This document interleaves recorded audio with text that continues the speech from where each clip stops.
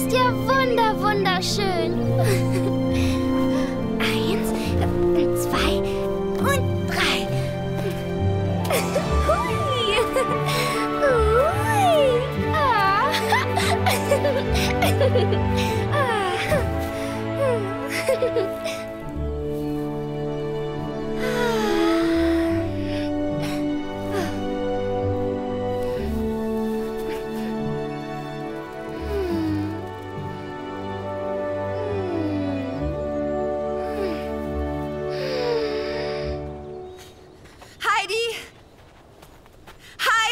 Heidi! Dete?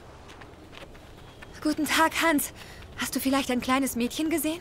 Dunkle Haare, ungefähr so groß. Schau mal da drüben. Ich danke dir. Heidi!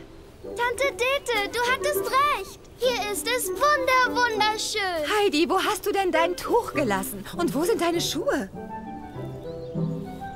Das liegt alles dort unten. Du ziehst deine Sachen irgendwo aus und vergisst sie dann auch noch? Ich bin einem Schmetterling hinterhergelaufen und auf einmal war mir so heiß. Und da hab ich... Ah.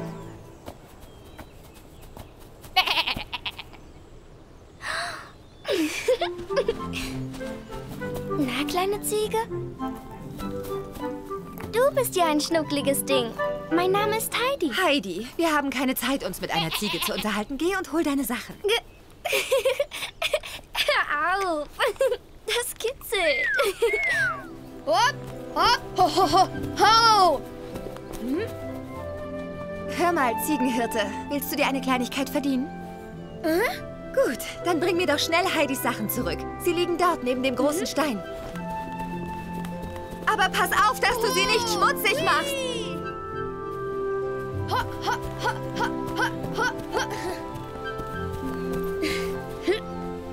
Vielen Dank, junger Mann. Also, du bist ja noch viel schneller als der Wind. Hier, wie abgemacht. Sind das deine Ziegen? Gehören die etwa alle dir?